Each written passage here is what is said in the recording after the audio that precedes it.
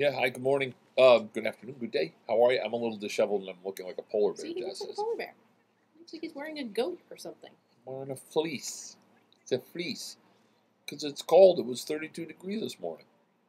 Anyway, um, we're continuing our conversations with candidates for uh, office contested races, but tomorrow actually we're going to speak to someone who was in a contested race when we booked her. It is no longer, but it's still worth listening to what her prospects are because she will be a new councilor uh, for Ward 4. So we'll talk with Pam Schwartz about the issues that she sees in Ward 4 and the, the issues, uh, the larger issues relative to the city.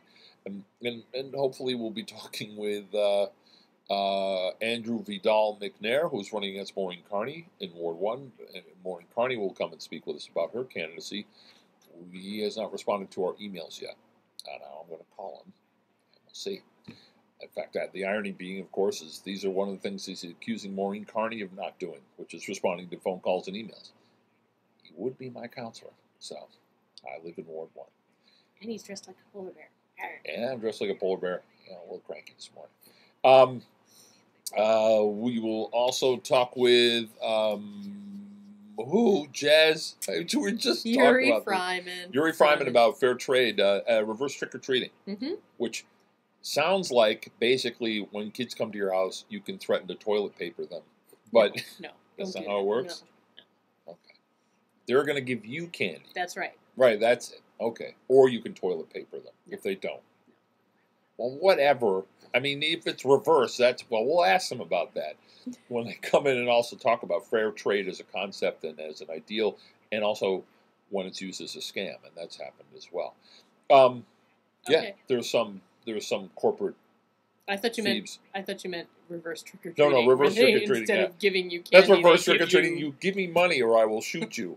that's actually called a robbery. but that's not what these guys are about. I'm pretty I'll sure. give you this shiny bullet in your abdomen. All you got to do is thank me by giving me your money. Um, and then, oh, oh man, spiraling out of control again. Who, who else we talking to? Well, Thursday, hopefully, uh, there was a little bit of a scheduling snafu, but um, we're going to be talking to Maggie Bergen and somebody else. Maggie Bergen's a friend and also uh, associated with Open Square in Holyoke and also the Art of Politics. She's a political consultant, but she's all she's all about Holyoke.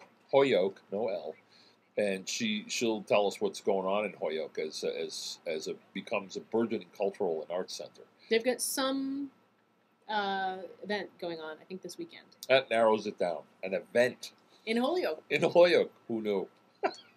and and uh, distracted by the face. yeah, I have worshiping glory in the fleece.